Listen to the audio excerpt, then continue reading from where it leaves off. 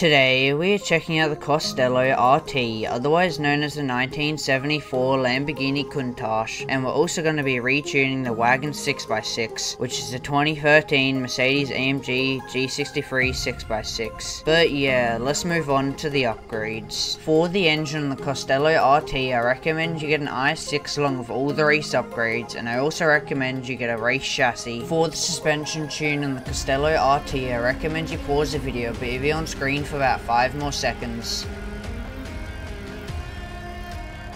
For the gearbox in the Costello RT, I recommend you get a 7 speed, but yeah, let's move on to the tune for the Wagen 6x6. For the engine on the Wagen 6x6, I recommend you get an i6 along with all the race upgrades, and I recommend you leave the chassis stock.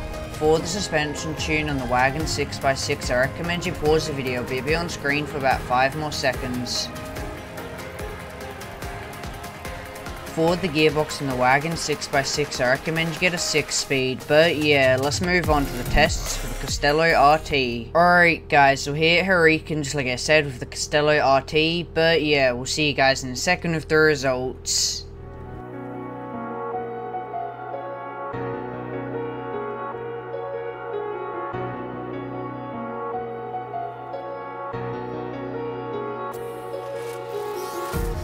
Empty hearts and neon lights. They're playing with my mind.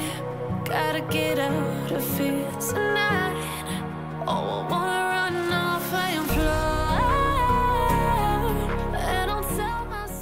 Alright guys, looks like you can get a doable 1 minute 4.7 to a doable 1 minute 4.9 on Hurricane, but yeah, let's move on to the next test for the Costello RT, which is Speed Avenue. Alright guys, so here's Speed Avenue of the Costello RT, just like I said, and yeah, we'll see you guys in a second with the results.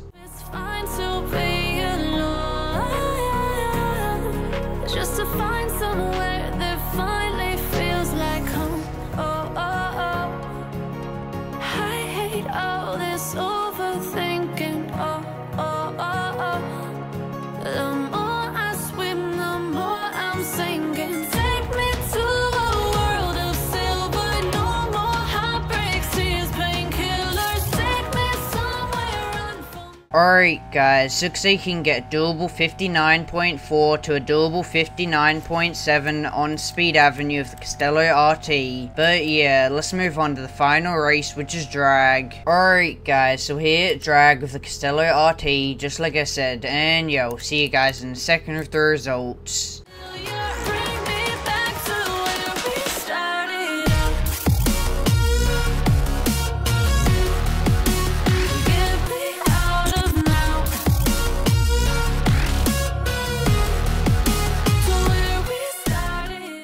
Alright guys, looks like you can get a doable 12.2 to 12.4 on drag with Costello RT, but I'd also like to say you can get a doable 12.1. But yeah, let's move on to the test for the Wagen 6x6, which is a trailer test. Alright guys, so here the trailer transport job, just like I said with the Wagen 6x6, but yeah, we'll see you guys in a second with the results.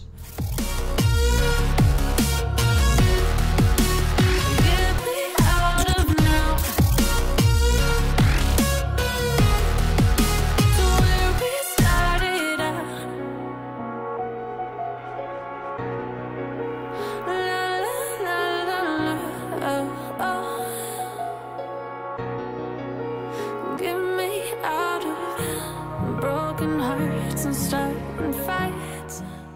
Alright guys, so I've done the trailer transport job for the Wagen 6x6, but yeah, let's move on. Alright guys, so in Cloud and I's opinion, the Costello RT is overall an okay car. The top speed is decent-ish, but a tad slow. The acceleration is okay, but it's a bit on the slow side. And the brakes are good, and the handling is decent-ish, but the car overall is smooth and easy to drive. Overall, this car's only worth getting if you want an old classic supercar to add to your collection since there are multiple better options in terms of previous weeklies and dealership cars that'll beat this car in a race. And in Cloud and I's opinion, the Wagen 6x6 is rather decent for trailer jobs. The top speed for trailer jobs is decent, the acceleration for trailer jobs is decent, the brakes for trailer jobs are overall decent, but they're a bit long, and the handling for trailer jobs is decent, and surprisingly this car has a decent amount of grip when towing a trailer. And for the weight of the trailer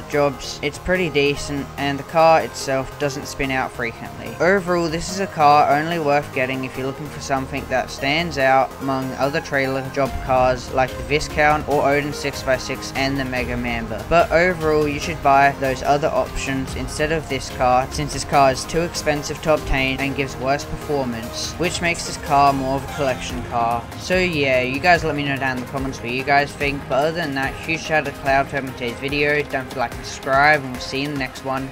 Peace.